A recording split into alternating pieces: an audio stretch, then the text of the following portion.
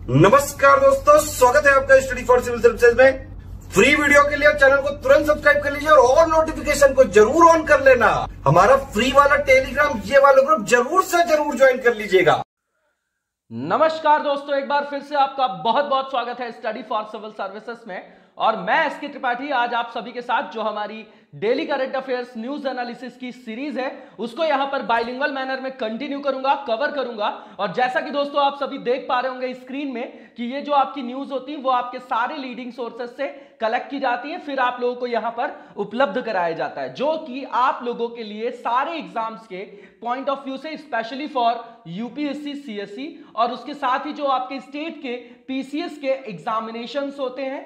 उनके लिए प्रीलिम्स और मेंस दोनों ही पर्सपेक्टिव में यह सीरीज़ आप लोगों के लिए बहुत ही ज़्यादा बेनिफिशियल साबित होगी। तो आप लोग इस सीरीज़ को कंटिन्यू रिपीटेटिव मोड में रिवीजन करते हुए सतत रूप से, निरंतर रूप से पढ़ते रहिए, जिसका लाभ आप लोग स्वयं अनुभव करेंगे एग्ज़ाम हॉल में। ये मैं डेली एश्योर करता हूँ। और आगे चलने से पहले दोस्तों, मैं आप लोगों को बता देना चाहता हूँ कि स्टडी फॉर सिविल सर्विसेज़ के पेड कोर्सेज चल रहे हैं, जिनके बारे में डिटेल्स में जानकारी आप इन नंबर्स पे कॉल करके जान सकते हैं और उन्हें ज्वाइन करके आप उनका महत्तम लाभ भी अर्जित कर सकते हैं। और साथ ही दोस्तों, अगर अभी तक आपने हमारा फ्री टेलीग्राम चैनल जो कि करंट अफेयर से रिलेटेड स्पेसिफिक चैनल है at the rate of only current affair के नाम से, अगर उसे आप लोगों ने ज्वाइन नहीं किया है तो ज़रूर ज्वाइन कर ले, क्योंकि जो भी इंपॉर्टेंट आपकी अपडेट्स होती हैं नोटिफिकेशन होते हैं, वो वहाँ पर आप लोगों को फ्री ऑफ़ कॉस्ट कराए जाते हैं। तो आइए आगे की ओर चलेंगे और आज के फ़र्स्ट न्यूज़ आर्टिकल को देखेंगे।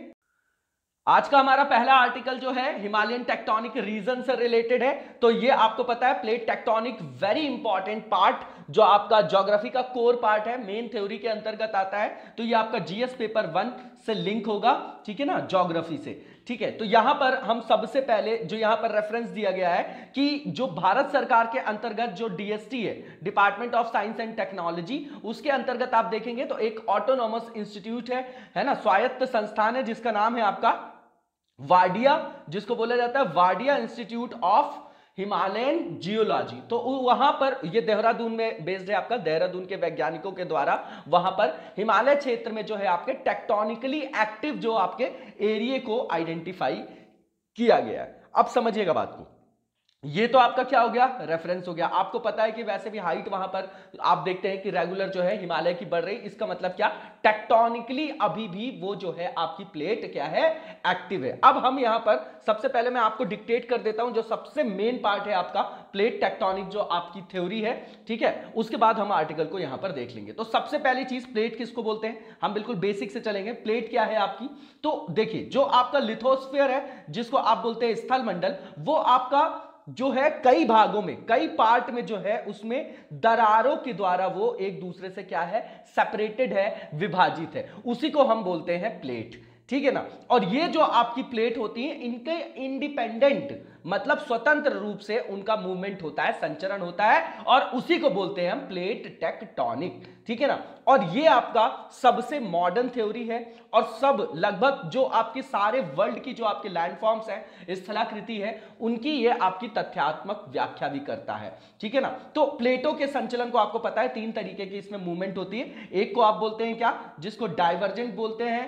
प्लेट मतलब जो डाइवर्जेंट आपकी किनारा है सॉरी ठीक है ना? जो प्लेट है आपकी, वो तो ओशियानिक होगी या कॉन्टिनेंटल होगी, आपको पता है दो तरीके की होती है। ठीक है ना? तो यहाँ पर क्या, जो उनकी मूवमेंट है, उसको तीन तरीके से जो है क्या उसको बाइफरकेट किया जाता है? सबसे पहले डाइवर्जेंट आपकी जो है, सीमा है, ठीक है ना? बाउंड्री है जिसको आप कॉन्स्ट्रक्टिव बोलेंगे, ठीक है ना? जैसे मिड ओशियनिक रिज हो गई आपकी, ठीक है ना? उसके बाद कन्वर्जेंट जोन मतलब एक दूसरे से टकरा रहे हैं, उसको बोलते हैं हम डिस्ट्रक्टिव किनारा। उसके बाद एक होता है आपका, जो ट्रांसफॉर्म बाउंड्री संरक्षित सीमा कहलाती है, ठीक है ना? उसको कंजर्वेटिव जो आपका क्या है? बाउंड्री है, या ट्रांसफॉर्म बाउंड्री भी उसको बोला जाता है। ये तो इसके बारे में नॉर्मल सी क्या हो गई? आपकी मतलब जानकारी हो गई। अब हम देखेंगे कि इसका मूवमेंट इसके अंतर्गत कैसे होता है। मैं जल्दी जल्दी आपको जो है पूरी चीज़ें ब्रीफ करने की कोशिश करूँगा। अच्छा इसके बाद जो है आप लोग एक बार रिवाइज कर जाइएगा। 19 जो आपका 1913-15 का जो आपका दौर है, उस दौरान जो आपके अल्फ्रेड वैगनर ने दिया था, कॉन्टिनेंटल ड्रिफ्ट थ्योरी।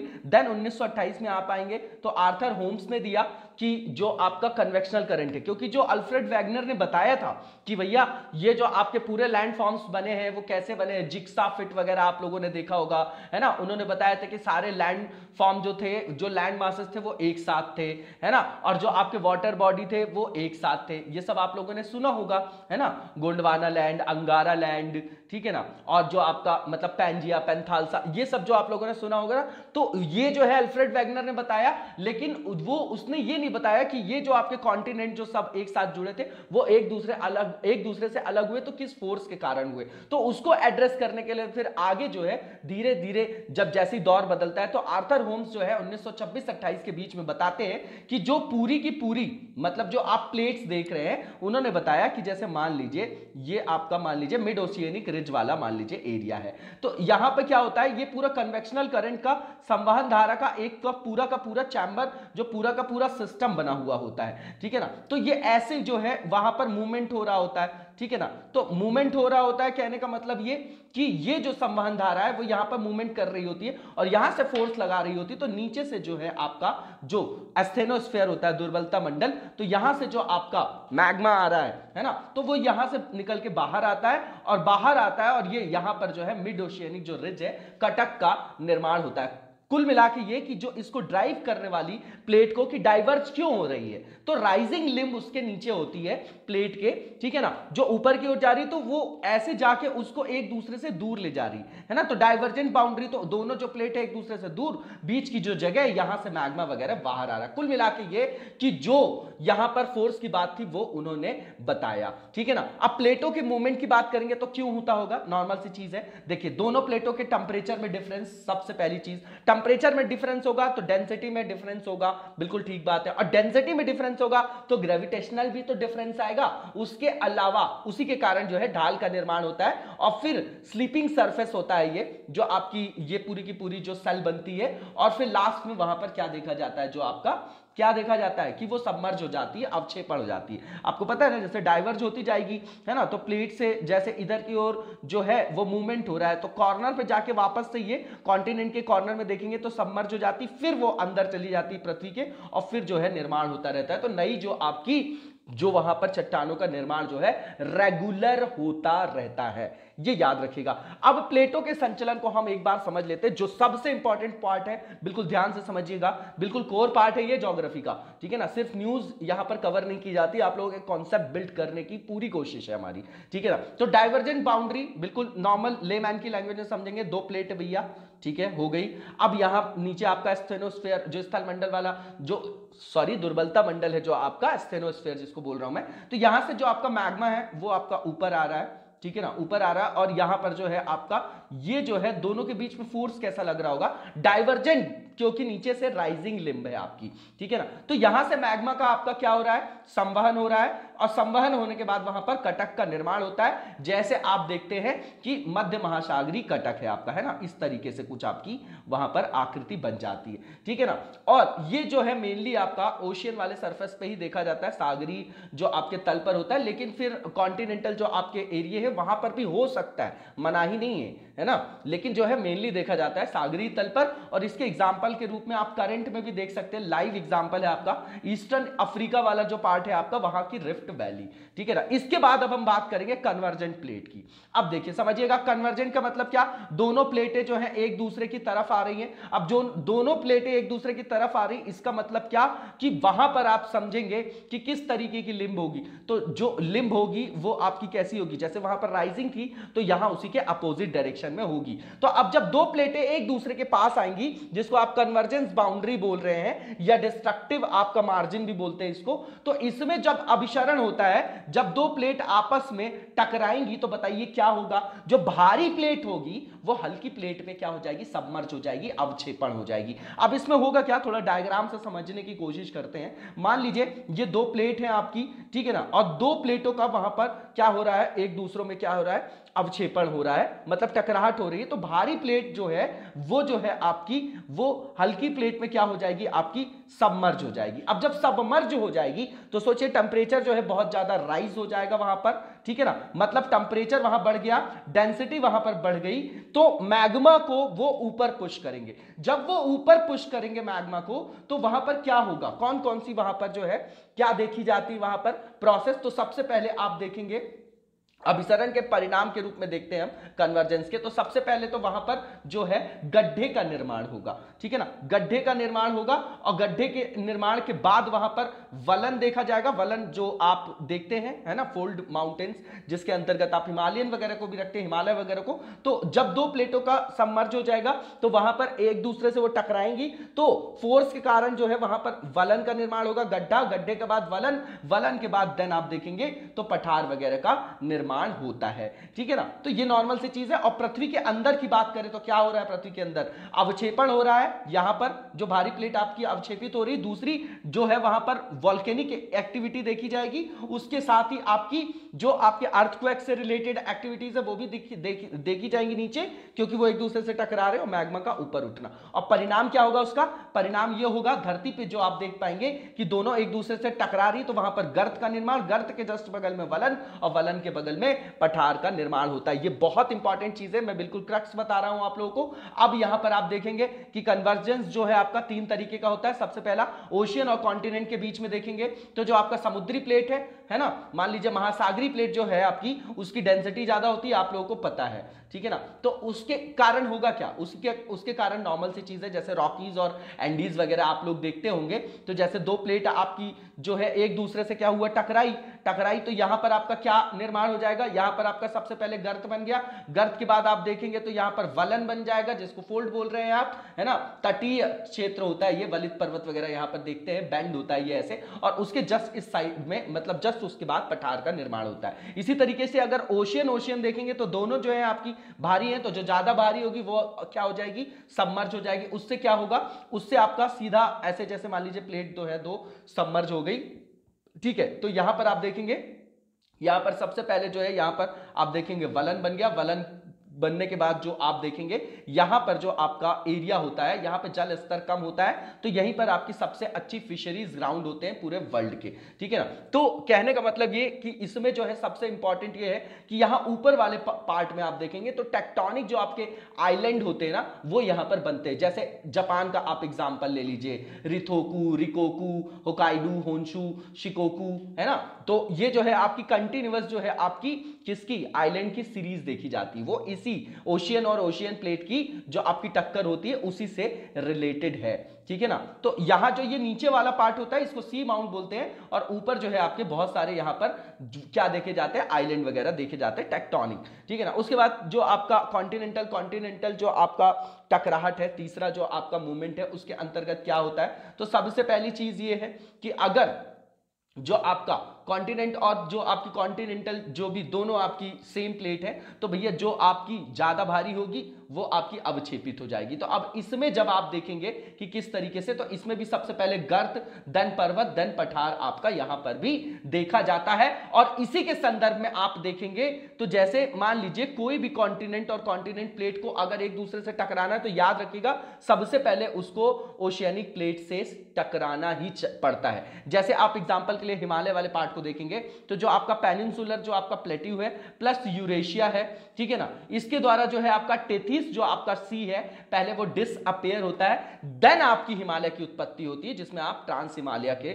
संदर्भ में शुरुआत देखते हैं। ठीक है ना? तो उसमें आप देखते हैं कि पार पार हिमालय जो आपका ट्रांस हिमालय है, वो उसमें आपकी आती है काराकोरम है लद्दाख है, जास्कर है तियान शान है कुल्लून शान है। तो हिमालयन जो आपकी श्रेणी का निर्माण है, वो कॉन्टिनेंट कॉन्टिनेंट से टक्कर से बना है, लेकिन याद रखिएगा कि टेथिस सी और जो यूरेशियन प्लेट है, उसकी टक्कर से फिर ये आपका ट्रांस हिमालय वाला भी पार्ट बनता है है ना? ठीक है? तो यहाँ पर ये नॉर्मल सी चीज़ थी, मैंने आपको सारी की सारी चीज़ें यहाँ डिक्टेट कर दी हैं। उसके बाद आप देखेंगे कि जो आपका कॉन्टिनेंटल कॉन्टिनेंटल जो आपका कन्वर्जेंस है ठीक है ना? ये रिलेटेड है सीधे सीधा हिमालय के कंटेंट से, क्योंकि जब आप देखेंगे कि वहाँ पर जो टक्कर हुई थी उसमें, है ना? उसी के बाद टेथिस सी जो है आपका डिसअपेयर हो जाता है है ना? तो हिमालय के कंटेक्स्ट में आप देखेंगे टेथिस प्लस इंडो प्लेट का वहाँ पर सीधा सीधा रेफरेंस आता है, ठीक है ना? तो ये नॉर्मल सी चीज़ है और जब ओशियन ओशियन जब आपकी कॉन्टिनेंटल जो मतलब प्लेट है जो आपकी ओशियन और ओशियन जो आपका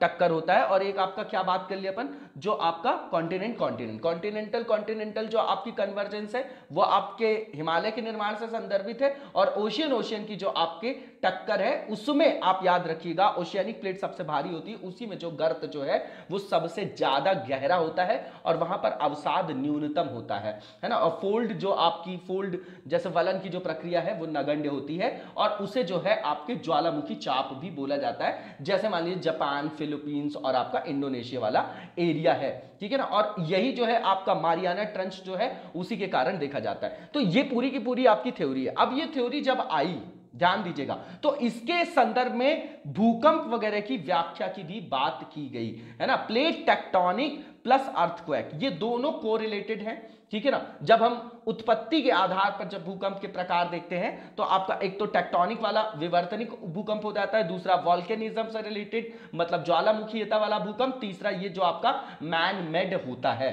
ठीक है ना? तो ये इंपॉर्टेंट है मेंस के परस्पेक्टिव से, कि ठीक है, कि ज्वालामुखी और भूकंप का वितरण जो है आपका, वो आप किसके हिसाब से बताएँ? इसके हिसाब से, जो आपकी कॉन्टिनेंटल ड्रिफ्ट थ्योरी है, जैसे आप रिंग ऑफ़ फायर ओशियन मतलब देखते होंगे पैसिफिक रिंग ऑफ़ फायर देखते होंगे प्रशांत महासागरी, अग्नि वाले वाला क्षेत्र देखते होंगे, मध्य महासागरी भाग देखते होंगे, उसके अलावा ईस्टर्न अफ्रीका का भ्रंश घाटी क्षेत्र देखते होंगे, और मध्य महासागरी कटक क्षेत्र देखते होंगे। ये मैं पूरे विश्व का ज्वालामुखी और भूकंप वितरण का क्षेत्र आपको बता रहा हूँ। ठीक है ना? तो नॉर्मल सी चीज़ें स्कोर वाले पार्ट जो है, मैंने मैक्सिमम आपको यहाँ पर सारी चीज़ें क्लियर कर दी है। एक बार आप लोग इसको रिवाइज कर जाइएगा और कल, बिल्कुल आप कमेंट बॉक्स में आज के आज मतलब जो है, आप लिख के दिखाइएगा कि प्लेट टेक्टोनिक जो आपकी थ्योरी है, उसको आप लिखिएगा, लेकिन लिखेंगे कैसे कि जो प्लेट टेक्टोनिक आपकी थ्योरी है ऐसी क्या कमियाँ थी आपकी जो कॉन्टिनेंटल ड्रिफ्ट थ्योरी में थी, जिसको एड्रेस करता है आपका प्लेट टेक्टोनिक और किस तरीके से प्लेट टेक्टोनिक पूरे विश्व में भूकंप और ज्वालामुखी के वितरण को प्रदर्शित करता है। इस क्वेश्चन को आप आप लोग लिख के बताइएगा। ठीक है ना? अब यहाँ पर हम इसके कुछ मुख्य तथ्य देख लेते हैं, जो इस स्टडी में बताया गया है। ठीक है ना? नॉर्मल सी चीज़ें हैं यहाँ पर। इसमें ज़्यादा इंपॉर्टेंट जो है, वो चीज़ें जो है, सारी हमने डिस्कस कर ली। सबसे पहली चीज़ ये कि जो हिमालयन आपका एरिया है, जो हिमालय वाला आपका क्षेत्र है तो यहाँ पर शिवनी एरिया या लद्दाख में स्थित उसको आपका इंडस जो आपका सूचर जोन भी बोला जाता है है ना? सिंधु सिवनी क्षेत्र जो है, उसको जो है, अभी ये बोला गया कि टेक्टोनिकली एक्टिव है। नॉर्मल सी चीज़ है। अब ये वो आपका एरिया है जहाँ पर आपकी इंडियन प्लेट और जो एशियन प्लेट है आपकी, वो एक दूसरे से मिलती है। ठीक है ना? इस खोज से पहले अगर ये स्टडी मतलब जो अभी बताई जा रही, इसके पहले ये जो आपका एरिया था लॉक्ड जोन था। ठीक है ना? इसके बाद ये पता चलता है कि ये जो एरिया भैया, ये आपका क्या है? वास्तव में बंद क्षेत्र ना होकर सक्रिय टेक्टोनिक क्षेत्र था। मतलब पहले ये सोच रहा था कि ये एरिया जो है आपका नॉर्मल जो है अब एक्टिव नहीं है, ऐसा माना गया था। तो यहाँ पर स्टडीज़ के लिए जो हिमालय का सबसे सुदूर क्षेत्र है, लद्दाख वाले एरिया को इन्होंने क्या किया? चुना। ठीक है ना? अब यहाँ पर लद्दाख वाले एरिया को चुना उन्होंने और यहाँ पर यहाँ पर जो अध्ययन किया गया है तो देहरादून में एक आपकी प्रयोगशाला है ऑप्टिकली स्टूमुलेटेड ल्यूमिनेसेंस बोला जाता है। ल्यूमिनेसेंस बोला जाता है, उसके द्वारा किया गया, बिल्कुल इंपॉर्टेंट नहीं है, ठीक है ना? और इसमें यह देखा गया है कि जो टेक्टोनिकली एक्टिव होने के कारण भूकंप की क्या फ्रिक्वेंसी है और पहाड़ों की ऊंचाई के जो घटने की दर है या बढ़ने की दर है, उसका स्टडीज़ यहाँ पर किया जा रहा है। और इसको जो आपका प्रकाशित किया गया है टेक्नोफिजिक्स जर्नल में किया गया है। नॉर्मल सी चीज़ है। और यहाँ पर यह बताया जा रहा है कि the Himalayas were thought to be compose to north dipping thrust such as जो आप देख रहे हैं, जो पढ़ते हैं मेन जो आपका मिडिल थ्रस्ट है आपका, उसके बाद मेन बाउंड्री थ्रस्ट और जो आपका मेन फ्रंटल थ्रस्ट है, बिल्कुल इंपॉर्टेंट नहीं है। According to established model all these thrust have been discontinued discontinued except for जो आपका MFT है, जो आपका मेन फ्रंटल थ्रस्ट है. And overall deformation in the Himalayas is only being adjusted with M normal सी चीज़ है, इसमें ज़्यादा परेशान नहीं होना है. इसके बाद यहाँ पर यह बताया गया है कि जो आपकी नदियाँ हैं, वो आपकी कैसी मतलब हाई लैंड से रिलेटेड है हाई एरियाज़ से, और जो आपका सिल्ट एरियाज़ हैं रिवर का are bent and their surface is broken apart from this the original source of river has been greatly eroded shallow valleys have formed as a result normal सी चीज़ है ये। इसको देख जाइएगा। इसके बाद यहाँ पर देखेंगे कि जो एंटायर आपका जो स्टडी है वो आपका कहाँ पर? तो टेक्नोफिजिक्स जर्नल में प्रकाशित किया गया है। और ये मैंने आपको बता दिया है कि किसके माध्यम से किया जा रहा है और क्या किया जा रहा है। अब इसका इफ़ेक्ट जो है वो बताया जा रहा है। तो ये जो आपका मतलब बताया जा रहा है कि दिस में call for a critical approach in existing जो आपका इवोल्यूशनरी मॉडल है यूजिंग न्यू टेक्नो जो टेक्निक्स है and a large geological data database normal सी चीज़ है ये इतना इंपॉर्टेंट नहीं है न्यूज़ में इसलिए कवर किया जा रहा है। और दूसरी चीज़ ये कि ये जो स्टडी है आपकी अर्थक्वेक प्रिडिक्शन है ना? अंडरस्टैंड मतलब understanding the seismic structure of mountain range as well as its development can have major implication तो इसका इंप्लीकेशन है भैया कि वहाँ पर भूकंप की उत्पत्ति के जो आपके रीजंस वगैरह हैं, उसके बारे में पता लगाया जा सकेगा। ठीक है ना? तो ये जो है, हिमालय क्षेत्र भूकंप का कारण जो है, वो मेन जो है, आप ये समझ लीजिएगा कि जो आपका मेन सेंट्रल आपका थ्रस्ट है मेन जो आपका बाउंड्री थ्रस्ट है, और जो आपका मेन फ्रंटल जो आपका थ्रस्ट है है ना? मेन सेंट्रल मेन फ्रंटल और मेन बाउंड्री उससे निर्मित माना जाता है जो आपका नॉर्थ की ओर जो है, क्या है? झुका हुआ है। ठीक है ना? तो अभी तक ये माना जाता है कि मेन फ्रंटल थ्रस्ट को छोड़ के सभी थ्रस्ट बंद थे, लेकिन जो हिमालय में जो भी आपके बदलाव होते हैं, अभी तक ऐसा माना जा रहा था कि उसके लिए जो आपका मेन फ्रंटल थ्रस्ट ही जिम्मेदार है। ठीक है ना? तो ये नॉर्मल सी चीज़ है। अब यहाँ पर को बताया जा रहा है। ये इंपॉर्टेंट है आपका प्लेट टेक्टोनिक और अर्थक्वेक से रिलेटेड तो सबसे पहली चीज़ आप समझ लीजिएगा कि यहाँ पर it is the shaking of the earth surface resulting in a sudden release of energy into the earth lithosphere that create seismic wave सीधी बात है, चट्टानों के खिसकने से, उनके बीच में से ऊर्जा विमुक्त होती है। वही ऊर्जा जो होती है, जो हम फील करते हैं, है ना? उसी को शेकिंग ऑफ़ अर्थ उसी को बोला जाता है भूकंप। बिल्कुल नॉर्मल सी चीज़ है। अब प्लेट टेक्टोनिक के बारे में ये बता रहे हैं। ये मैंने सारी चीज़ें जो है आपको डिक्टेट कर दी। यहाँ पर ये बता रहे हैं कि सात प्रमुख प्लेटों से, कई अन्य छोटी प्लेटों से बना है तो फैक्चुअल चीज़ें आप उनके नाम देख जाइएगा। ठीक है ना? तो जो है ये आपकी बाउंड्रीज बनाती हैं प्लेट की गति और भूकंप के साथ साथ जो है ज्वालामुखी प्रक्रिया, है ना? ये सारी चीज़ें जो है उसी के परिणाम स्वरूप देखा जाता है। नॉर्मल सी चीज़ है। इसके बाद यहाँ पर बताया जा रहा है कि जो आपकी डाइवर्जेंट प्लेट बाउंड्री होती है, वो क्या होती है? तो भैया, जो आपके दो प्लेट एक दूसरे से दूर जाती है, यहाँ पर जो आपका भूकंप वगैरह देखा जाता है तो उसकी आवृत्ति कम होती है, क्योंकि रेगुलर वहाँ पर जो है आप देखते हैं कि वहाँ पर क्या होता है कि मतलब रेगुलर वहाँ पर जो है नया लैंडफॉर्म बनता रहता है, क्योंकि डाइवर्जेंट प्लेट है मिड ओशियनिक रिज से आप उसको कनेक्ट करके चलेगा कन्वर्जेंट प्लेट के बारे में बात बताएँ तो जो दो आपकी प्लेट्स होती हैं, वो आपस में क्या करती हैं? कन्वर्ज होती। कन्वर्ज होती तो टेम्परेचर ज़्यादा डेंसिटी ज़्यादा तो वहाँ पर गर्त जो है ज़्यादा खतरनाक बनता है ज़्यादा गहरा, और वहाँ पर ज़्यादा जो भूकंप और ज्वालामुखी से रिलेटेड घटनाएँ हैं, भीषण, वो देखी जाती है। उसके बाद ट्रांसफॉर्म जो आपकी प्लेट बाउंड्री होती है, इसका मतलब ये होता है कि दो दो प्लेट होती है, ये एक दूसरे के ऊपर जो है मतलब टकराती नहीं है, ये आपकी पैरेलल मूवमेंट करती हैं, ठीक है ना? तो रगड़ मतलब एक दूसरे से वो रगड़ के चलती है, लेकिन वो जिसको फ्रैक्चर वगैरह बोला जाता है, लेकिन वो एक दूसरे से टकराती नहीं है, और ये आपके जो है मीडियरी मध्यवर्ती स्तर के भूकंप का कारण भी बनती है है ना? ट्रांसफॉर्म बाउंड्री की बात कर रहे हैं हम लोग, ठीक है? तो इसको देख जाइएगा आप लोग नॉर्मल सी चीज़ है। इसके बाद आगे की ओर चलेंगे, और ये सिस्मिक जोन वगैरह के बारे में बता रहे हैं zone one zone three zone four zone five इसको देख जाइएगा इंपॉर्टेंट है आपका, ठीक है ना? एक बार, और इसके बाद नेक्स्ट न्यूज़ की तरफ़ चलेंगे हम लोग, और ये आपका कोल स्कैम से रिलेटेड है। तो इंपॉर्टेंट पार्ट है, अभी इसका रेफरेंस ये है कि हाल ही में जो आपकी सीबीआई है, उन्होंने जो है एक मतलब स्पेशल कोर्ट के द्वारा जो आपके पूर्व जो आपके सेंट्रल के जो आपके मंत्री हैं, केंद्रीय मंत्री दिलीप रे और उनके साथ जो तीन और लोग हैं, उनको 1999 में झारखंड के जो आपके ब्रह्मा डी, जो कोयला ब्लॉक मतलब जो एरिया है आपका जहाँ पर आवंटन किया गया था तो उसमें इरेगुलरिटीज के लिए उनको तीन साल की जेल सुनाई गई है, जेल की सजा सुनाई गई है। नॉर्मल सी चीज़ है, ये हमारे लिए इतना इंपॉर्टेंट नहीं है रेफरेंस है। अब हमको ये देखना है कि ये है क्या और इसमें जो है किस तरीके के प्रकरण को देखा गया। देखिए हुआ क्या था कि जो कोल मिनिस्ट्री है, उसकी गाइडलाइंस के माध्यम से विशेष रूप से ये क्लैरिफाई क्लैरिफाई किया गया था कि जो आपका स्पॉन्ज आयरन और जो भी मतलब उसके उत्पादन करने वाली, जो स्पॉन्ज आयरन को जो उत्पादित कर रही है कंपनी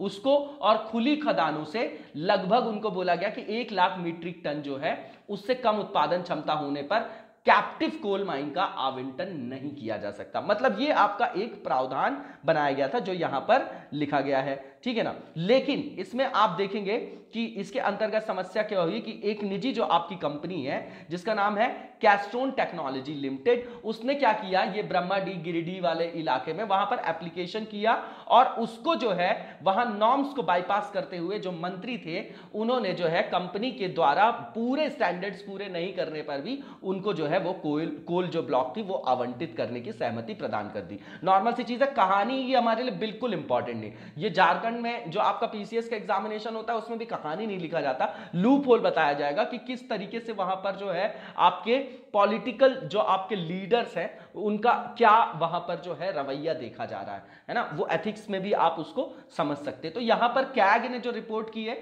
उसने बताया कि इसके कारण जो है आठ लाख करोड़ रुपए के रेवेन्यू का घाटा हुआ है सरकार को और इसको मदर ऑफ़ ऑल स्कैम्स बोला गया है। और कैग ने यह भी बोला है कि सरकार के पास जो कोल ब्लॉक्स को मतलब नीलाम करने का अधिकार था है ना? लेकिन फिर भी ऐसा नहीं किया गया और उसी के कारण जो है आपका इस तरीके की कंपनीज़ को बहुत ज़्यादा अप्रत्याशित लाभ हुआ है। इसी को तो बोलते हैं क्रोनी, जो आपका कैपिटलिज्म है और क्या है ये? ठीक है ना? नॉर्मल सी चीज़ है, इसको देख जाइएगा। यही सब चीज़ें यहाँ पर बताई गई हैं। इसके बाद अब कोल सेक्टर के बारे में बताया जा रहा है इंडिया में। ये हमारे लिए इंपॉर्टेंट है, ठीक है ना? तो जो आपका भारत में कोल क्षेत्र है आपका यह विश्व का आपका चौथा सबसे बड़ा क्या है? भंडार है है ना? जो क्षेत्र है, भंडार स्थल है, इसके बावजूद जो है, भारत को कोयले का आयात करना पड़ता है। क्योंकि आपको पता है, हमारे यहाँ की जो कोल की जो गुणवत्ता है, वो उतनी जो अच्छी नहीं है। एंथ्रासाइट वगैरह तो जो आपका कोल का जो सबसे अच्छा कोल होता है, वो तो आपका जे वाले एरिया में, कालाकोट और निचोम वाले एरिया में उसमें पाया जाता है। ठीक है ना? तो कौन सा कोल जो है, हमारे यहाँ सबसे ज़्यादा होता है, कमेंट बॉक्स में बताइएगा। इसके बाद आप देखेंगे कि यहाँ पर जो लिखा गया है, South Asian nations depends on coal India. Coal coal. India for more than 80 percent of their domestic production, but this company has failed in its production targets. ठीक है ना? तो नॉर्मल सी चीज़ है, यहाँ पर दक्षिण एशियाई राष्ट्र जो है, वो, देखिए, दक्षिण जो एशियाई राष्ट्र हैं, वो अपने डोमेस्टिक जो आपका प्रोडक्शन होता है, उसके लिए जो है आपका 80 परसेंट से अधिक जो है, वो इंडिया पर निर्भर है। लेकिन लास्ट कुछ ईयर्स में देखेंगे तो जो कोल इंडिया है आपका, वो प्रोडक्शन से रिलेटेड अपने टारगेट्स को मतलब अचीव करने में लगातार फेल्योर देखा जा रहा है। ठीक है ना? उसके बाद आप देख रहे हैं कि नए जो आपके इन्वेस्टमेंट है, उनको जो है आकर्षित करने के लिए कई महीनों से कोयला वाला जो एरिया है, उसमें जो है लगातार जो है प्राइवेटाइजेशन वाली भी प्रक्रिया चल रही है। ठीक है ना? तो ये नॉर्मल सी चीज़ है और ये आपका जो है, जो ट्रेडिशनल पार्ट था, उससे अपन मूव कर रहे हैं। एक प्रोग्रेसिव आपका क्या है? मूव है, उसका, देखिए नेगेटिव इंपैक्ट भी उसके होते हैं, है ना? वो एनालिसिस वाला पार्ट है, उसके बाद हम आगे की ओर देखेंगे अब, ठीक है ना? तो यहाँ पर ये बताया जा रहा है कि India imported 235 million ton of coal last year of which 135 million ton of coal valued at rupees one lakh seventy one thousand crore could have derive from domestic reserves ठीक है ना? नॉर्मल सी चीज़ है, इसको इतना इंपॉर्टेंट नहीं है ये। इसके बाद आप देखेंगे, ये चीज़ मैंने आपको बता दिया है कि किस तरीके से प्राइवेटाइजेशन और नए नए प्लेयर्स को वहाँ पर शामिल किया जा रहा है। उसके बाद यहाँ पर nationalization of coal and its effects बताया जा रहा है। तो भैया, उन्नीस सौ तक जो कोयले का, जो आपका माइनिंग का काम था वो आपका मुख्य रूप से जो है, आपका किसके हाथ में था? प्राइवेट एरिया के मतलब प्राइवेट जो एंटिटी निजी क्षेत्र के हाथ में था। उस दौरान ये मान लीजिए कि जो कोयला उत्पादन स्तर था, वो 72 मिलियन आपका टन पर ईयर तक जो है पहुँच गया था। ठीक है ना? तो इकहत्तर से तिहत्तर, बल्कि ये बहत्तर तिहत्तर का दौर है, जो आप देख रहे हैं कि उसके दौरान कोयला जो उद्योग है 1972-73 में, उसका नेशनलाइजेशन किया जाता है। क्यों? आप याद रखिए 1969 में बैंकों का नेशनलाइजेशन हो रहा है। तो अब जो है आपका 72-73 में कोल जो आपकी माइंस वगैरह है, कोल जो आपकी इंडस्ट्री है, उसका पूरा जो है आपका नेशनलाइजेशन किया गया। और देन उसके जो है आपके बुनियादी अवसंरचना, जिसको आप इंफ्रास्ट्रक्चर कहते हैं बेसिक इंफ्रास्ट्रक्चर उसके लिए इंडियन गवर्नमेंट ने हैवी जो आपके हैवी इन्वेस्टमेंट वहाँ पर किया गया। उसके बाद आप देखेंगे कि जो आपका इंपॉर्टेंट पार्ट है कि ये पूरी आपकी टाइमलाइन बताई जा रही है, ठीक है ना? 1991 में जब आपका हो जाता है क्या? एलपीजी आ जाता है लिबरलाइजेशन प्राइवेटाइजेशन और ग्लोबलाइजेशन तो उसके तहत जो है आपका जो उदारीकरण के अंतर्गत जो सुधार होंगे तो वहाँ पर जो आपका कैप्टिव कंजम्पशन निजी खपत के लिए भी बहुत सारी कंपनियों को वहाँ पर कोल जो ब्लॉक्स है, वो क्या की गई? एलोकेट की गई। ठीक है ना? तो ये जो कैप्टिव माइनिंग होती है, इसमें किसी भी कंपनी के द्वारा कोयले का खनन जो है प्राइवेट अपने कंजम्पशन के लिए किया जाता है। वहाँ पर मार्केट में जो है, उसको बेचने की अनुमति नहीं होती है। इसके बाद आप देखेंगे कि the demand for coal could not be met by coal India limited during the rapid growth जो स्पर्ट है इन द 2000 है ना? 2000 का मतलब दौर की बात कर रहे हैं leading to a substantial increase in the demand supply gap तो सीधी बात है, जो डिमांड और सप्लाई का जो आपका गैप है, उसको जो है ये फुलफिल नहीं किया जा किया जा रहा है कोल इंडिया लिमिटेड के द्वारा।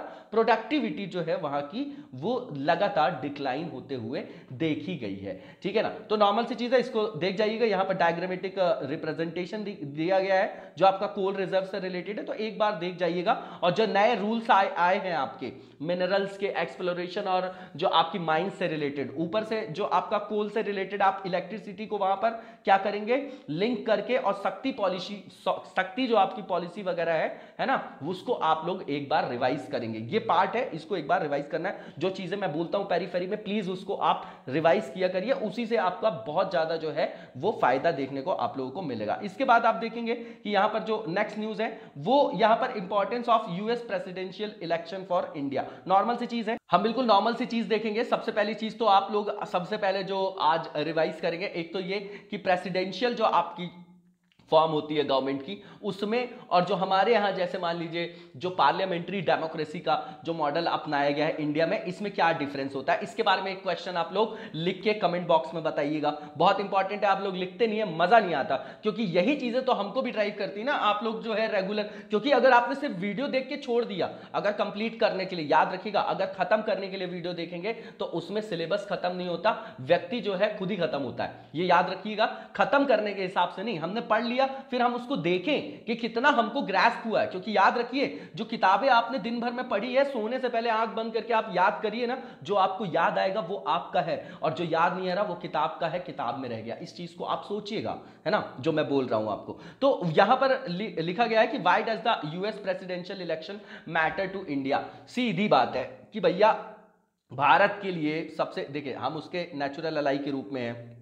हमारे संबंध बहुत अच्छे हैं, ठीक है ना? तो यूएसए जो हमारे सबसे बड़े ट्रेडिंग पार्टनर के रूप में आप उसको देखते हैं। तो यूएसए के साथ किसी भी जो आपका बाइलेटरल हो, चाहे इकोनॉमिक हो, चाहे आपका स्ट्रैटेजिक हो, चाहे आपके सोशल मतलब जितने डायमेंशन में आप रिलेशंस देखते हैं तो भैया उसके लिए सबसे अधिक वही मायने रखता है ना कि वहाँ पर किस तरीके का इलेक्शन से किस तरीके की जो आपकी गवर्नमेंट है वो आ रही उसके अलावा जो यहाँ पर आप देखेंगे कि जो अमेरिकी राष्ट्रपति हैं, कोई भी राष्ट्रपति, वो जो मेन ये कोई भी डोमेन है आपके, चाहे आपके मान लीजिए ट्रेड से रिलेटेड है, चाहे आप वीज़ा वगैरह जो आप लोग देखते हैं, है ना, उससे संदर्भित जो पॉलिसीज़ है, या और भी इंपॉर्टेंट जो आपकी स्ट्रैटेजिक बेका वगैरह सुनते होंगे लॉजिस्टिक्स लेमोया वगैरह आप लोगों ने सुना होगा तो बहुत सारे जो मतलब जो हमारे स्ट्रैटेजिक भी जो भी संबंध है उसमें जो है कई तरीके की वहाँ पर क्या देखे के, क्या देखे जा सकते हैं परिणाम देखे जा सकते हैं है ना? जो वहाँ पर वास्तविक परिवर्तन देखे जा सकते हैं। उसके बाद आप देखेंगे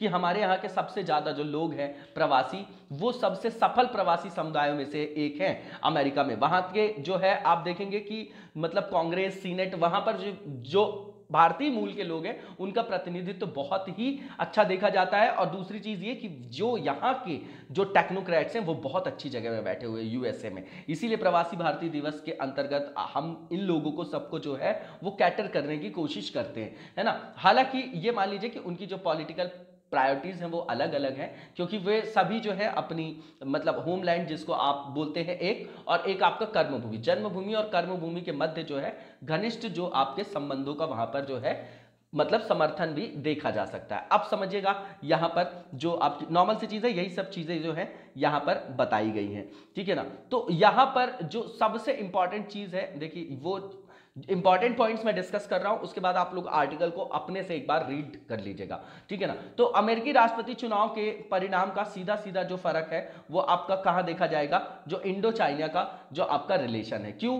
क्योंकि देखिए, भारत ने जो है आपका नैम को अपनाया, आपको पता है गुट निरपेक्ष दृष्टिकोण। उसी से आप देखेंगे कि 1971 में जब भारत और जो यूएसएसआर है सोवियत उनके बीच जब समझौता हुआ तो उसकी ओर उसको जो है पहला जो गंभीर परिवर्तन के रूप में देखा गया, क्योंकि ये माना गया कि पूरा विश्व जो है दो धड़ों में बटा है भैया। एक तरफ़ आपका कौन है? जो कोल्ड वॉर का एरा है यूएसए दूसरी तरफ़ आपका यूएसएसआर है। ठीक है ना? तो जब भारत के संबंध जो है वहाँ पर प्रगाढ़ होते हैं तो उसके बाद जो है पूरे के पूरे जो आपका एक पॉलिटिकल जो आप ऑर्डर देखते हैं, अंतरराष्ट्रीय राजनीति के अंतर्गत यहाँ पर, है ना? इंडिया को देख रहे हैं, पाकिस्तान को देख रहे हैं, यूएसए देख रहे हैं, यूएसएसआर देख रहे हैं। तो वहाँ पर परिवर्तन देखा जाता है और पाकिस्तान की तरफ़ जो है, उस समय अमेरिका का झुकाव था और वॉशिंगटन बीजिंग जो आपके समझौते थी, उसकी शुरुआत में जो है, इसको जो है, वहाँ पर प्रतिक्रिया के रूप में देखा गया था। ठीक है ना? नॉर्मल सी चीज़ है। उसके बाद आप देखेंगे, यहाँ पर वही चीज़ें लिखी गई कि the first serious change was made by India from its non aligned approach towards Indo Soviet pacts in 1971 America's inclination toward Pakistan and the Washington Beijing pact है ना? नॉर्मल सी चीज़ है। बैलेंस ऑफ़ पावर से इसको भी correlate करके चलिएगा। इसके बाद अगर आप देखेंगे तो यहाँ पर यह लिखा गया कि now in the year 2020 threatening combative and hegemonic China वही बातें आ गई जो अपन रोज डिस्कस करते हैं। एग्रेसिव पॉलिसी ड्रैगन है।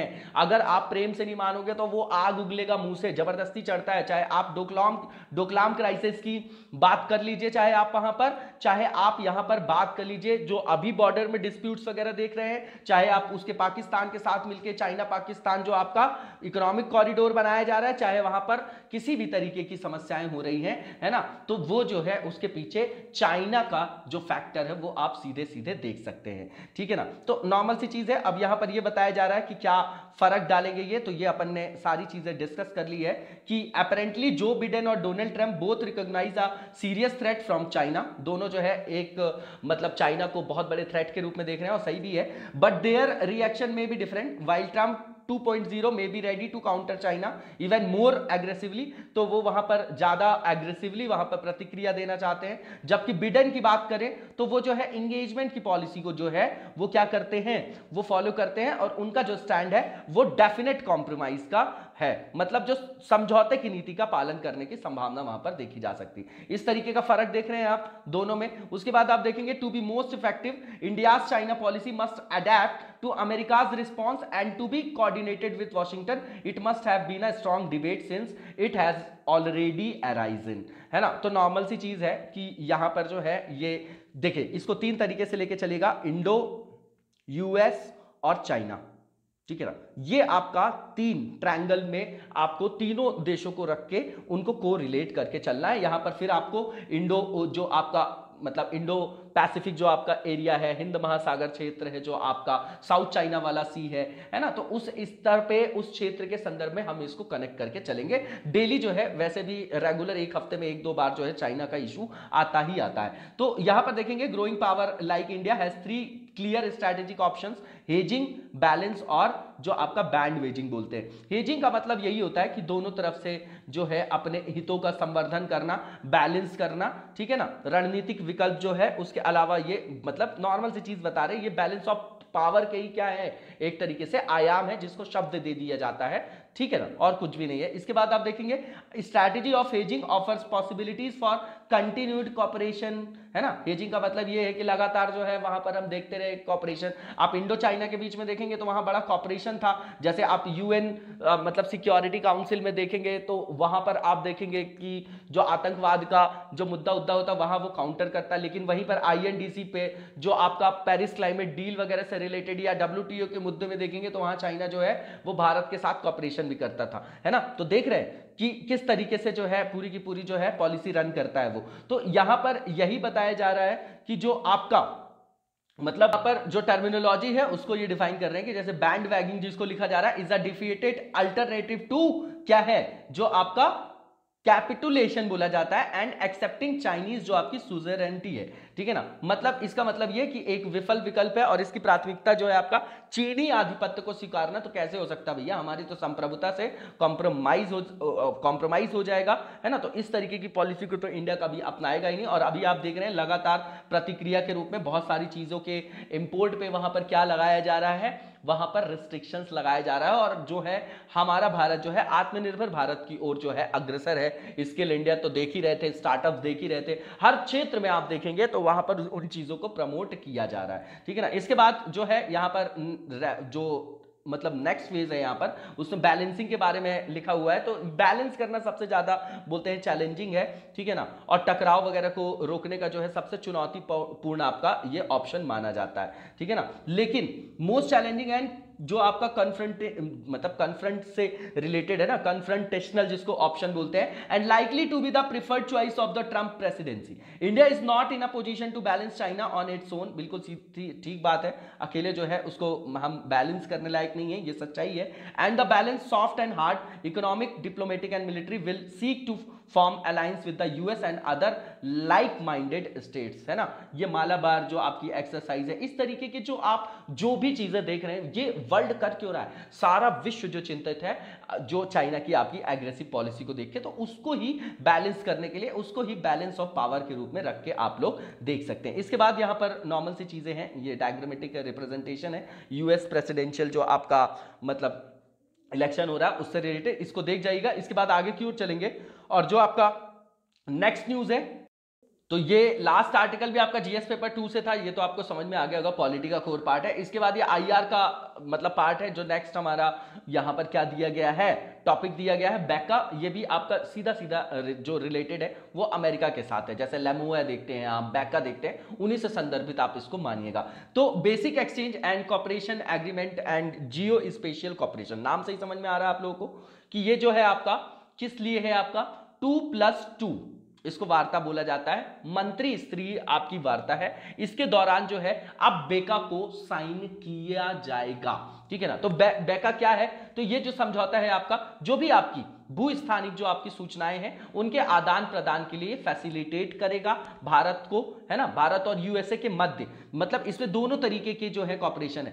सिविल और जो आपकी मिलिट्री मतलब सैन्य और नागरिक दोनों उपभोग के लिए। तो इससे भारत को जो है फ़ायदा होगा कि नहीं होगा? ठीक है ना? तो सीधी बात है, बैका जो है आपको भारत, जैसे ही बैका साइन है, अगर बैका को साइन करता है भारत और साइन किया है अगर भारत ने तो भारत को किस तरीके का महत्व लाभ होगा। तो भैया, जो ऑटोमेशन जो आपका हार्डवेयर सिस्टम है, और जैसे मान लीजिए, जो आपके वॉर मतलब जो आपके वॉर के लिए जो आपके जो भी आर्म्स वगैरह होते हैं, जो हथियार वगैरह, जैसे क्रूज है आपका बैलिस्टिक मिसाइल है तो इसके द्वारा जो है एक्यूरेट टारगेट को जो है हासिल किया जा सकता है। उसके बारे में जानकारी जो है जो क्या की जा सकती है यूज़ की जा सकती है, उसके द्वारा मैपिंग वगैरह करने की वहाँ पर अनुमति भी भारत को मिल जाएगी। ठीक है ना? इसमें आप लोगों ने सारी चीज़ें देखी होंगी। लेमोया क्या होता है? बैका क्या होता है? और एक और सिस्मोआ। कम्युनिकेशन जो interoperability and security memorandum agreement है। इन तीनों के बारे में चार चार पाँच पाँच पॉइंट जो इंपॉर्टेंट है वो बताइएगा। ये कई बार रिपीट हो चुका है। ठीक है ना? तो इसको आप देख जाइएगा। यहाँ पर ये की फैक्ट्स बताए गए हैं। तो भैया, जो इंडियन आपका ड्राफ्ट है has been send to the US with suggestion for a BECA उसके बाद जो मैरीटाइम इंफॉर्मेशन एग्रीमेंट है इंडिया और यूएस के बीच में अंडर एक्टिव कंसल्टेशन तो वहाँ पर भी विचार विमर्श हो रहा है। उसके बाद आप देखेंगे कि यहाँ पर जो there has been a sharp increase in India's maritime interaction with the Quad countries on a bilateral basis which is focused on information sharing for better maritime domain awareness in the Indian Ocean region and Indo Pacific तो सीधी बात है ना maritime security वहाँ पर piece ये जो आप लोग समुद्री क्षेत्र में जो डकैती वगैरह देखते हैं, है ना? तो उन सब चीज़ों को क्या करना? कैटर करना टेरर फंडिंग को रोकना, है ना? टेररिस्ट एक्टिविटीज़ को रोकना। तो ये सारी चीज़ें जो है आपकी, जो आपकी किससे रिलेटेड है? मैरी सिक्योरिटी उसके बाद सीधी सीधी आप चीज़ वहाँ पर जो है सीधा सीधा चाइना जो है, उसके भी क्या जो एग्रेसिव राइज है, उसको भी काउंटर करना है। तो उससे संदर्भित आप इसको क्या कर सकते हैं? उससे संदर्भित कर सकते हैं। उसी के संदर्भ में यहाँ पर जो है इंपॉर्टेंट जो आपकी जानकारी है, वो भारत को क्या होगी? प्राप्त होगी।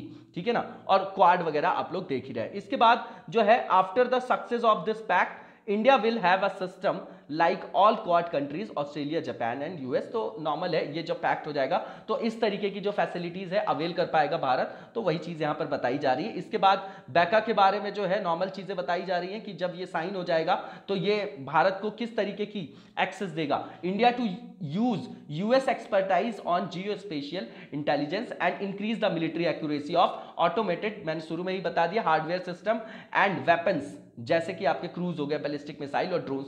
तो भैया, इस तरीके की जो है फैसिलिटीज़ को हम वहाँ पर अवेल कर पाएँगे और जो हमारी एक्यूरेसी वगैरह है, क्योंकि हमारे पास जानकारी एक्यूरेट होगी, तभी तो जो है हमारे जो ऑपरेशन होंगे वो एक्यूरेट होंगे। उस तरीके से आप इसको समझिएगा। It will set a framework through which the US can share sensitive data with India to aid in targeting and navigation तो सही बात है, जो नेविगेशन वगैरह से रिलेटेड जो आपकी इंपॉर्टेंट जो जानकारी है है ना सेंसिटिव डेटा उसको भी जो है भारत वहाँ पर अवेल कर पाएगा। ठीक है ना? इसके बाद यहाँ पर अभी तक तीन समझौते पर हस्ताक्षर किए गए हैं। आपको पता है, लेमोया है आपका, है ना? और दूसरा जो है आपका कॉम कासा है, और उसके अलावा जीएसओ जो एम है, मिलिट्री इंफॉर्मेशन एग्रीमेंट। सबके सब ये जो एग्रीमेंट है ना, आप ये, इसको आप कीवर्ड में देखेंगे तो क्या बोलेंगे? स्ट्रैटेजिक हमारा वहाँ पर रिलेशन, स्ट्रैटेजिक जो है आपका आयाम, जो है रणनीतिक आयाम, उसमें जो है ये आपकी सुदृढ़ता देखी जा रही है। भारत और यूएस के साथ जो है हमेशा जो है ये आपका उत्तरोत्तर वृद्धि उसमें देखी गई है। क्यों? क्योंकि जो आपका यूएस है, वो आईओआर रीजन में भारत को नेचुरल अलाई के रूप में देखता है। दूसरी चीज़, जो एशिया की प्राइवेट जो पॉलिसी पॉलिसी है, एशिया के लिए जो प्राइवेट पॉलिसी किसकी?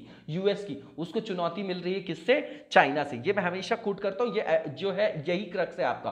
तो उन सब चीज़ों को कैटर करने के लिए इस टाइप के जो है रिलेशन भारत और अमेरिका के बीच में लगातार बढ़ते जा रहे हैं। दूसरी चीज़, ये दोनों जो है, आपकी जो सक्सेस डेमोक्रेसी के रूप में पूरे वर्ल्ड में माने जाते हैं तो दोनों के बीच में रिलेशन का वो भी आधार है। ठीक है ना? उसके अलावा जो है, वहाँ पर आप देखते होंगे कि बहुत सारे प्रवासी रहते तो हमारा हित भी है उसमें। ठीक है ना? अब जीएसओ एमआईए के बारे में बता रहे हैं तो ये आपका साइन किया गया 2002 में। प्रीलिम्स के पॉइंट ऑफ़ व्यू से इंपॉर्टेंट है इंडिया और यूएस के बीच में। ये एक तरीके का वे है for greater technology cooperation in the military sector तो स्पेशली ये आपका मिलिट्री सेक्टर के अंतर्गत जो आपका तकनीकी, प्रौद्योगिकी टेक्नोलॉजी जो अपग्रेडेशन उन्नयन से संदर्भित है, वहाँ पर जो है प्रौद्योगिकी कॉपरेशन प्रौद्योगिकी सहयोग का मार्ग प्रशस्त हुआ उससे और इसके साथ आप देख लेंगे कि at it allows sharing of classified information from the US government and US companies with the government of India and defence public sector undertaking normal सी चीज़ है, इसके बाद कॉम कासा के बारे में बता रहे हैं कि कॉम कासा जो है आपका, वो, ये भी आपका एक स्पेसिफिक वर्जन है। किससे रिलेटेड है? नाम से ही समझ में आ रहा है। कम्युनिकेशन और information of memorandum of understanding है। है ना? ये अब जो it applies immediately and is valid for a period of ten years this will facilitate access to advance defence system and enable India to make better use of its existing जो आपकी US origin platform है। देखिए, सीधी बात है, फिर यहाँ पर वही है कि जो भी जियो स्पेशियल वगैरह इंफॉर्मेशन होती हैं तो टेक्नोलॉजी से रिलेटेड है, ठीक है ना? तो ये जो है आपका मतलब स्पेसिफिक आपका स्पेशलिस्ट आपका एडिशन निकाला गया था और ये भी आपकी उन्नत रक्षा प्रणालियों तक जो है पहुँच भारत की, वो क्या करेगा? वहाँ पर सुनिश्चित करेगा, ठीक है ना? नॉर्मल सी चीज़ है। लेमोया के बारे में बात कर रहे हैं तो ये आपका लॉजिस्टिक से रिलेटेड है है ना? और यहाँ पर जो है एक दूसरे कंट्रीज़ को जो है मतलब भारत को जो है, अब उस तरीके की सुविधाएँ जो है आपकी, वो क्या अवेल कर पाएगा यूएस के सहयोग से, ठीक है ना? जैसे बेस वगैरह में आप लोग देखते हैं। तो logistic exchange memorandum of agreement is a logistic support arrangement signed in 2016 it gives both countries access to each other's military facilities but this but this does not make it automatic और mandatory आपकी facility ठीक है ना? Normal सी चीज़ है। सारी की सारी जो आपके यहाँ पर आप जो भी देख रहे हैं एग्रीमेंट जो आपके समझौते हो रहे हैं, वो आपके स्ट्रैटेजिक रिलेशंस में क्या है? इन्हेंसमेंट आप देख सकते हैं और भारत को उससे कई तरीके के लाभ होंगे। इसके बाद आगे की ओर चलेंगे और यहाँ पर जो नेक्स्ट न्यूज़ है, ये भी आपकी जीएस पेपर टू से है है ना? जो आपका कंपेरेटिव आप पॉलिटिक्स पढ़ते हैं तो उसके अंतर्गत है कंपेरेटिव पॉलिटिक्स और कंपेरेटिव जो आपका कॉन्स्टिट्यूशन है, उसी के अंदर आता है वो। तो referendum for new constitution in Chile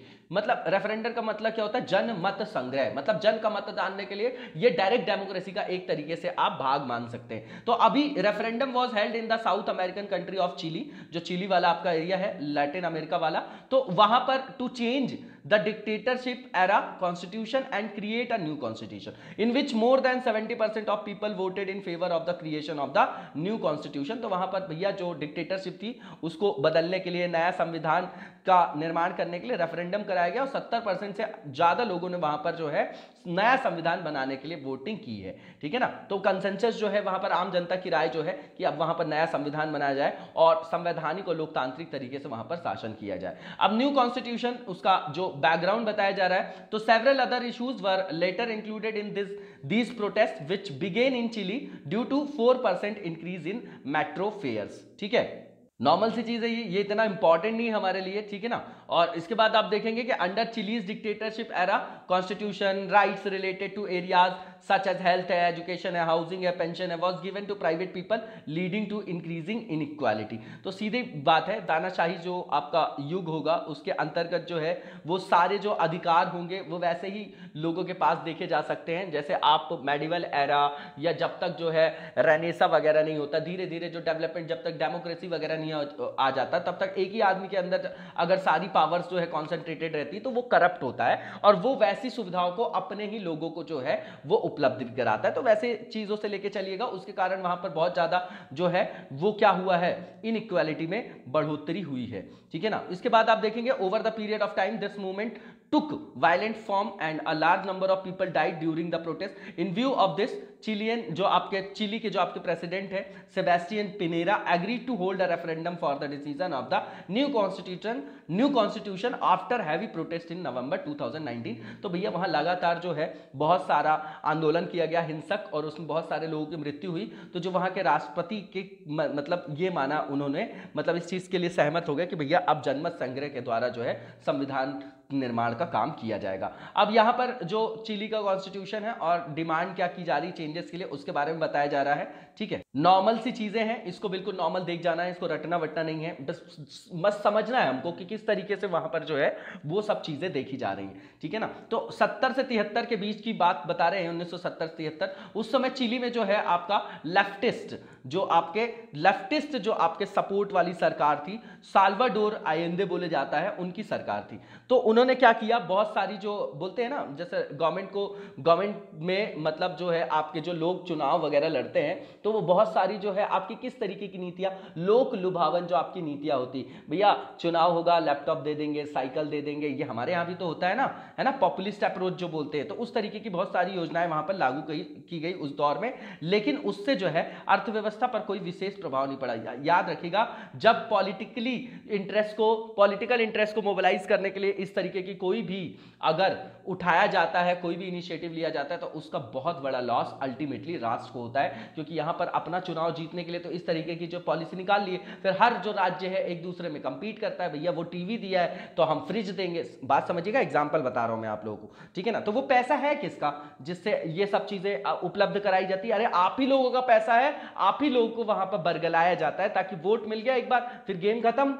है ना? ठीक है ना? नॉर्मल सी चीज़ है, इसको आप जो है, इसको सोच के देखिएगा। ये आपको डोमेन बता रहा हूँ मैं। ठीक है ना? तो उसी के कारण वहाँ पर जब कोई फ़ायदा नहीं हुआ तो वहाँ पर सैन्य विद्रोह हो गया और तख्ता पलट हो गया। तख्ता पलट के बाद वहाँ पर ऑगस्टे जो आपके पिनोचो है, उसकी जो सरकार है, वहाँ पर सत्ता में आ गई और उसके बाद जो चिली ने फिर वहाँ पर लिबरलाइजेशन उदारीकरण की नीति को अपनाया। ठीक है ना? ये कंटेम्प्रेरी जो आपके वर्ल्ड के बारे में जो हिस्ट्री वगैरह पढ़ते हैं, आप उसके अंतर्गत आप इसको रख सकते हैं। ठीक है ना? इसका, इसके बाद ये बताया जा रहा है it was created by a dictatorial ruler वहाँ पर फिर तानाशाह शासक के द्वारा जो है, वहाँ पर अनडेमोक्रेटिक प्रोसेस मतलब वो अलोकतांत्रिक तरीके से वहाँ पर क्या हुआ? मतलब वहाँ पर शासन चालू हुआ, जिसके कारण वहाँ पर आम लोगों की जो सहमति है लेजिटिमेसी है, उसका अभाव वहाँ पर पाया जाता है। वैसे भैया डिक्टेटरशिप में लेजिटिमेसी वैधता की बात कैसे आएगी? डिक्टेट कर रहा है वो तो लोगों की कोई सहमति नहीं है। उस तरीके से आप उसको क्या करिएगा मतलब मान के चलिएगा। इसके बाद Chile's constitution is completely incline towards conservatism मतलब रूढ़ीवादिता मतलब क्या?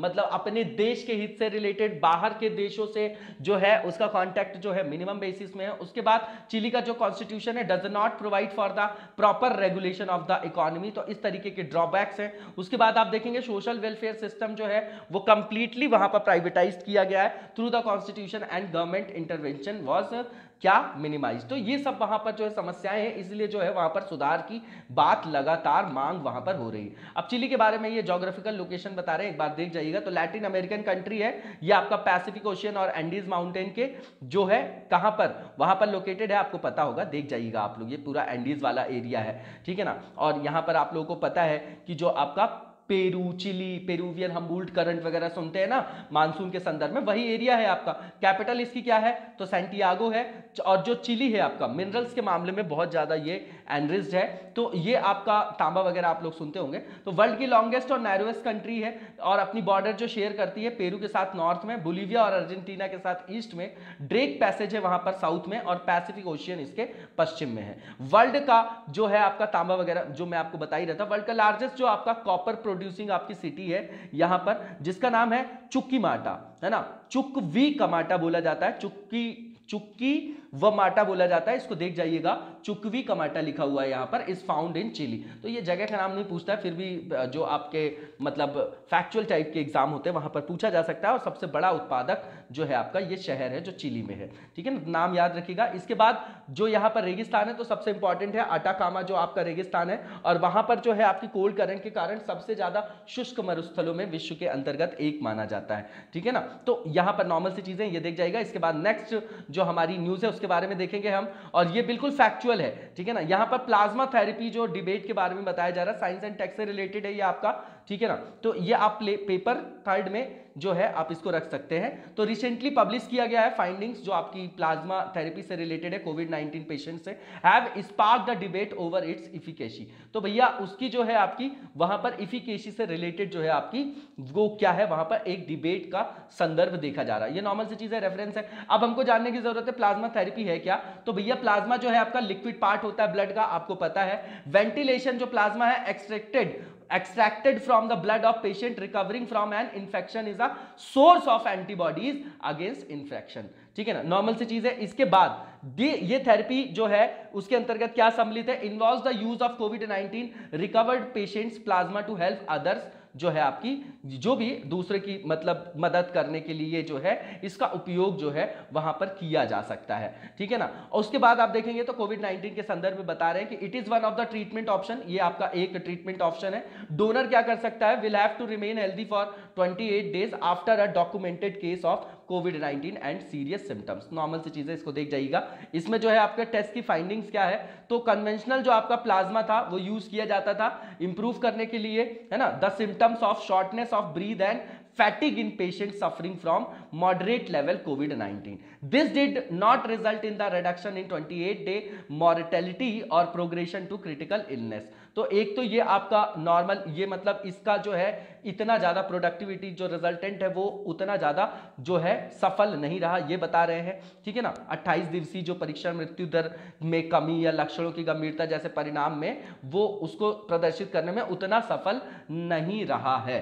ठीक है ना? तो ये नॉर्मल सी चीज़ है। उसके बाद आप देखेंगे यहाँ पर कि लिखा हुआ है प्लेसिड जो होता है was a randomise control trial used in 14 states and union territories representing 39 hospital spread in 25 cities बिल्कुल इंपॉर्टेंट नहीं है, ठीक है ना? तो ये एक तरीके का जो है यादृक्षित जो है आपका परीक्षण होता है है ना? तो अभी जो है, ये सब चीज़ें जो है रेगुलर कोविड के कारण न्यूज़ में, क्योंकि अभी सारी जो अर्थव्यवस्थाएँ, जो सारे देश है, वो परेशान है कि किस तरीके से वैक्सीन आया, आ जाए तो इसके प्रकोप, इसके दल से हम बाहर निकल पाए, ठीक है? अब यहाँ पर यही बताया जा रहा है, यहाँ पर स्टडी के बारे में ये डेटा दे के रखा है इन्होंने, ये देख जाइएगा, बहुत इंपॉर्टेंट नहीं है। इसका जो क्रक्स है आपका, वो ये है कि इसके स्टडी के बाद ये पाया गया कि जो ट्रीटमेंट किया जा रहा है इस थेरेपी के अंतर्गत, वो बहुत ज़्यादा इफ़ेक्टिव नहीं है। ठीक है ना? तो क्या है? यहाँ पर आईसीआर जो है, वो क्या कर सकता है? उसकी क्या मतलब दिशा निर्देश है? उसके बारे में यहाँ पर बताया जा रहा है। तो यहाँ पर बोला जा रहा है what if ICMR removes medicare from its guidelines तो यहाँ पर यह बताया जा रहा है कि जो परीक्षण के निष्कर्ष वगैरह हैं, उसके कारण जो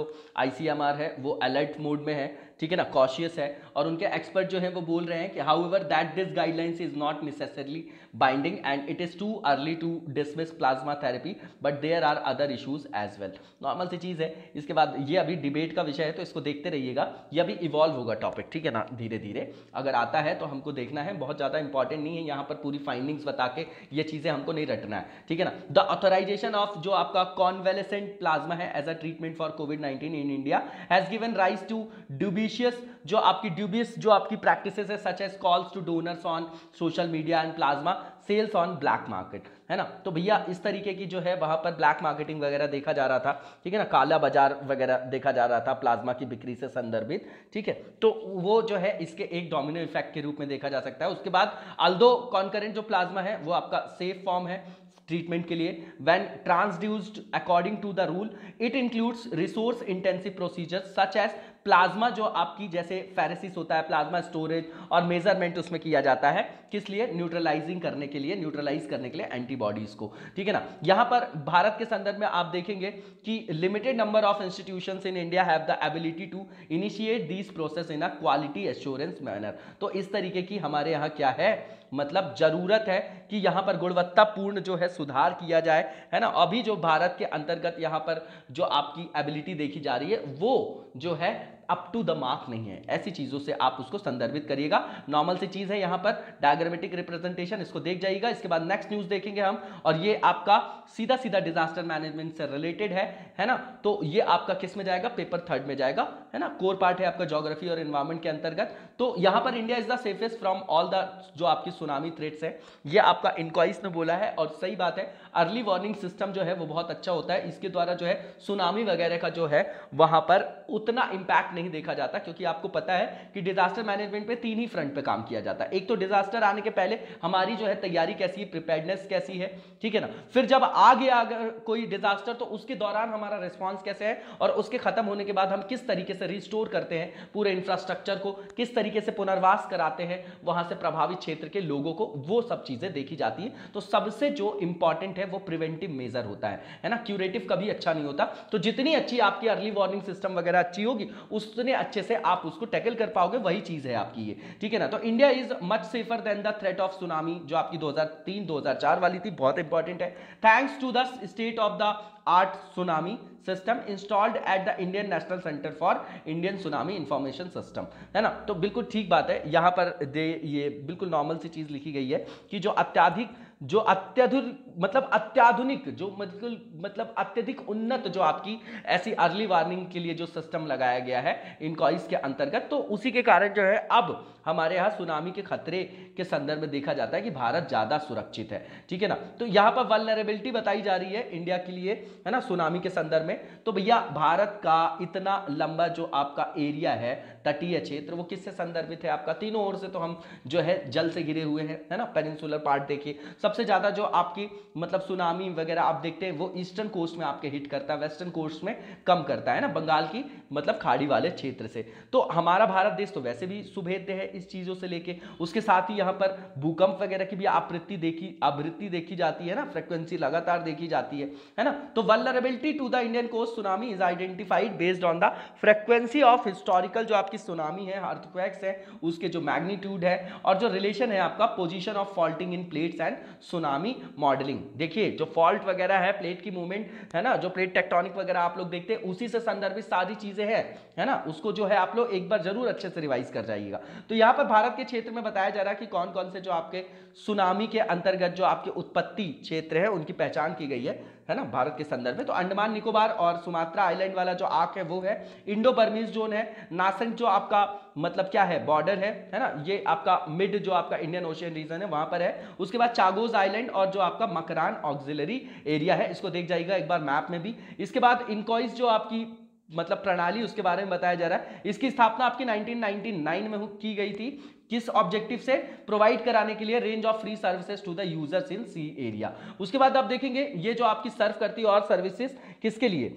इट सर्व इट सर्विसेज़ मतलब जो आपकी फिशरमैन को टू ऑफ़ फिशरमैन को भी और ऑफ़ शोर जो आपका ऑयल एक्सप्लोरेशन इंडस्ट्रीज़ है, इस तरीके की चीज़ों के लिए भी वो वहाँ पर अब क्या करती है, वहाँ पर सुविधा प्रदान करती है। नॉर्मल सी चीज़ है। और ये जो इंस्टीट्यूट है आपका फ़ंक्शन करता है। ऑटोनॉमस ऑर्गेनाइजेशन के रूप में किसके अंतर्गत? मिनिस्ट्री ऑफ़ अर्थ साइंस के अंतर्गत। याद रखिएगा इंपॉर्टेंट फॉर्मेशन बताया गया है यहाँ पर। मतलब जब आपकी 2004 की जो सुनामी आती है, उसके संदर्भ में बहुत सारे फिर इनिशिएटिव लिए गए। ठीक है ना? तो after the 2004 tsunami and intergovernmental coordination group for the Indian Ocean tsunami warning and mitigation system was form तो इसको सबसे पहले वहाँ पर इसका गठन किया गया। उसके बाद आप देखेंगे कि जो इंक्वाइस है through the Indian tsunami early warning जो आपका सेंटर है provides monitoring and warning services for coastal population on tsunami storm waves etcetera तो भैया उनसे रिलेटेड अगर कोई भी जो आपकी जानकारियाँ होती, वो लोगों को क्या करती, वो उपलब्ध कराती, उससे अगर जिस क्षेत्र में अगर किसी तरीके की आपदा आने वाली है,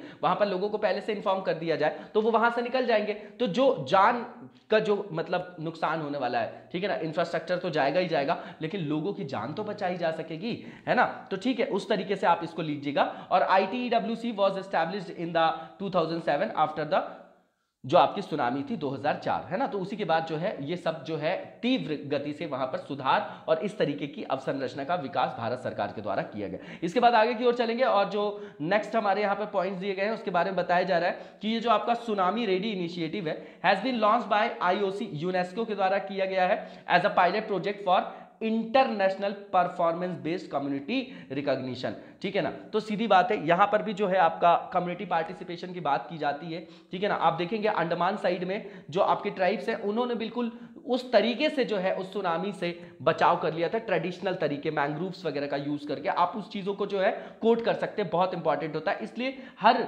जो आपकी कही हो, कोई भी योजना हो या आपदा हो, उससे निपटने के लिए कम्युनिटी पार्टिसिपेशन की बात की जाती है। इसके बाद आप देखेंगे the small vessel advisory and prediction service system has been introduced specifically to improve the operation of ships used in fishing तो फिशिंग के लिए जो है ये आपका वहाँ पर पूर, जो पूर्वानुमान वगैरह उपलब्ध कराना है उससे संदर्भित आपका ये एस वी ए एस है। इसको आप देख जाइएगा। यहाँ पर बहुत ज़्यादा फैक्चुअल चीज़ों को याद नहीं करना। हमको डिजास्टर मैनेजमेंट पे देखना है कि जो सुनामी के उत्पन्न होने के कारण क्या है उससे बचाव के लिए हमारे भारत की क्या तैयारी है। दैट्स इट ठीक है ना? तो satellite is being developed for satellite based message broadcasting by the ISRO and जो आपका एयरपोर्ट अथॉरिटी ऑफ़ इंडिया है AI in partnership with the indigenous navigation satellite communication system navigator NavIC की बात कर रहे हैं। ये बहुत अच्छे से कवर किया हम लोगों ने, ठीक है ना? तो इसको देख जाइएगा नॉर्मल सी चीज़ है। इसके बाद हम आगे की ओर चलेंगे। और ये हमारा एमसीक्यू का चरण है। सबसे पहला जो यहाँ पर क्वेश्चन है, वो आई से रिलेटेड है आपका ऑस्ट्रेलिया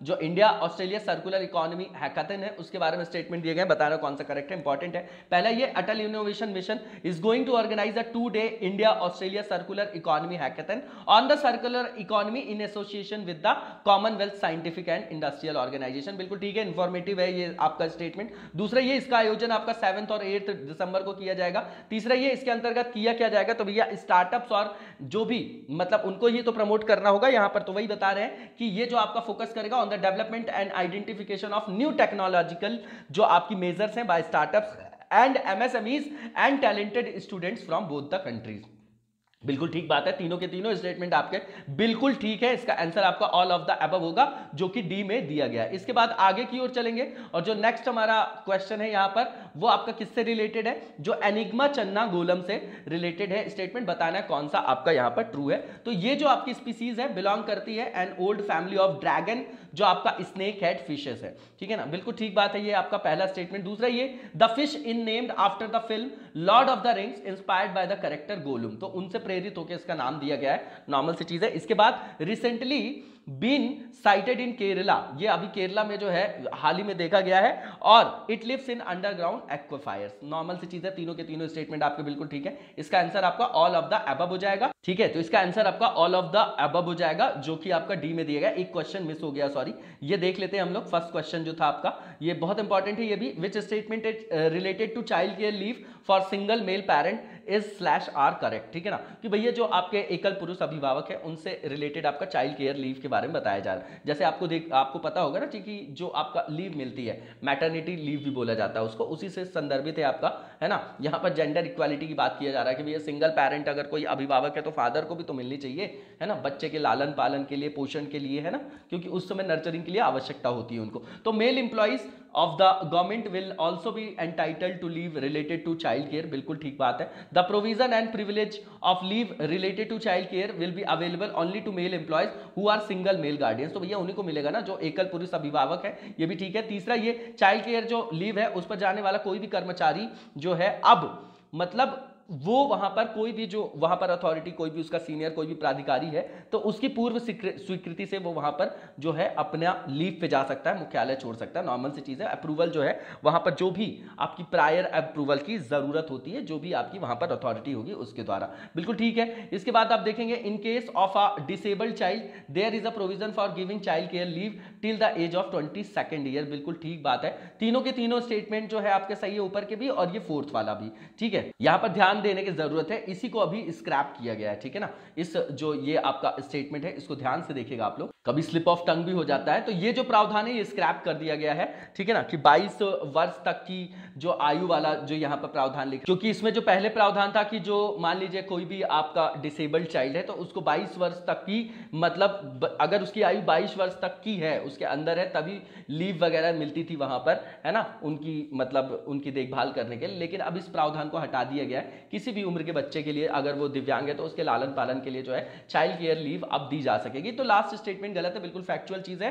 केवल पहला, दूसरा और तीसरा स्टेटमेंट आपका यहाँ पर ट्रू है। ध्यान से देख जाइएगा, जो ये 22 वर्ष वाला प्रावधान है, इसको हटा दिया गया है। मैं बार बार ये बता रहा हूँ, ठीक है ना? तो इसका आंसर आपका वन टू थ्री जो हो जाएगा सी हो जाएगा। इसके बाद जो लास्ट क्वेश्चन है, वो देखेंगे हम लोग। और जो लास्ट क्वेश्चन है, हमारा प्रोजेक्ट थर्टी से रिलेटेड है। इसके बारे में यहाँ पर स्टेटमेंट देके पूछा जा रहा है, कौन सा करेक्ट है? तो पहला ये कि ये आपका एक क्राउड क्राउड फंडिंग इनिशिएटिव है supported by 37 officers of the year 2016 batch under which funds will be mobilise to repair anything बिल्कुल ठीक बात है, पहला स्टेटमेंट दूसरा ये कि इस प्लान के जो अकॉर्डिंग बोला जा रहा है कि डोनेशन इसमें 2500 will be made on monthly basis by each batchmate तो ये गलत है आपका। यहाँ पर पंद्रह सौ रुपए का प्रावधान है, पच्चीस सौ का नहीं है। फैक्चुअल चीज़ है, कभी नहीं पूछी जाएगी कि पंद्रह सौ है कि पच्चीस सौ है। ठीक है ना? तो दूसरा स्टेटमेंट आपका गलत है। तीसरा ये कि इसका यूज़ किस लिए किया जाएगा? तो under the provision has also been made for construction of play toilets repair of routes and sign post across the state and funding for a promising athlete from the village है ना? तो यहाँ पर जो है स्पोर्ट्स मैन को भी जो है वहाँ पर प्रोत्साहन देने के लिए जो है इस तरीके के प्रावधान का जो है वहाँ पर भी फंडिंग का प्रावधान किया गया है। तो तीसरा स्टेटमेंट सही है, पहला स्टेटमेंट सही है। केवल दूसरा स्टेटमेंट आपका गलत है तो इसका आंसर आपका one and three only B हो जाएगा। और इसी के साथ आज के वीडियो को हम यहीं पर विराम देंगे। नेक्स्ट वीडियो में कल कंटिन्यू करेंगे, तब तक लगातार ज़बरदस्त तरीके से पढ़ते रहिएगा। Thank you so much best of luck